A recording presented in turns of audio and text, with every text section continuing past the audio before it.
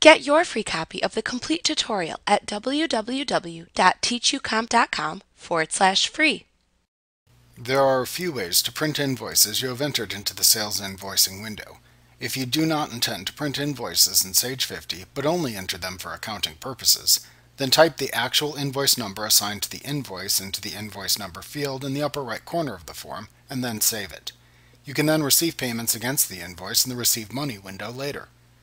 To print invoices in Sage 50, do not enter an invoice number into the form. Instead, decide if you want to print just one invoice or a batch of invoices. To print or email one invoice, open the invoice in the Sales Invoicing window, and then click either the Print or Email button in the Windows toolbar. In the Print Email Forms Invoices window that opens, enter the invoice number to assign to the displayed invoice into the First Invoice Number text box. If the invoice already has an invoice number, this information is not editable.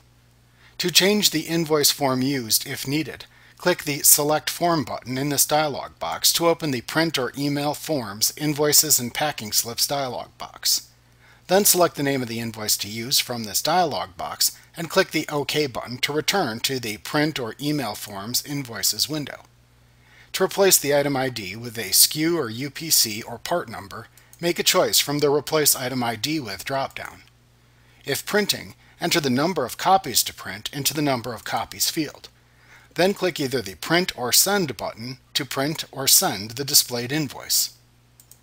Alternatively, to batch print or batch email invoices, first create and save the invoices without assigning them invoice numbers. Then click the drop-down arrow to the right of the Print button in this Windows toolbar and select the Select Invoices to Print command from the drop-down menu to open the Preview and Print Invoices and Packing Slips window. In the upper left corner of this window, select which invoices to print or email and select through which date to show the invoices. Then enter the first invoice number to assign to the invoices into the Number the First Invoice field.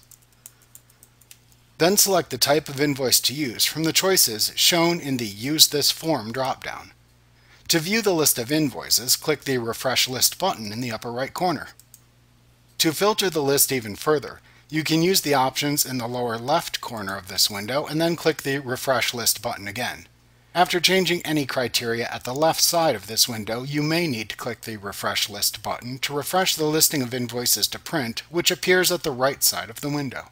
In the list of invoices to print at the right side of the window, check the checkbox next to the invoices to mark them to be printed uncheck the checkboxes to not print them.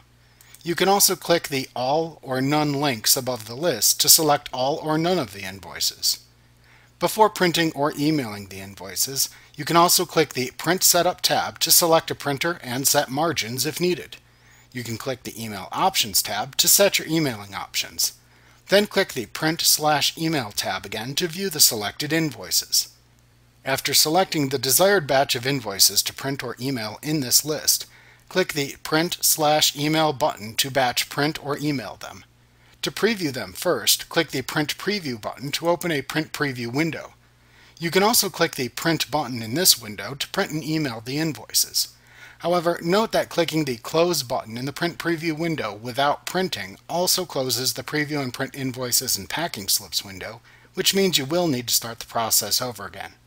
If you want to cancel printing and emailing the invoices, click the Cancel button instead. Like what you see? Pick up your free copy of the complete tutorial at www.teachucomp.com forward slash free.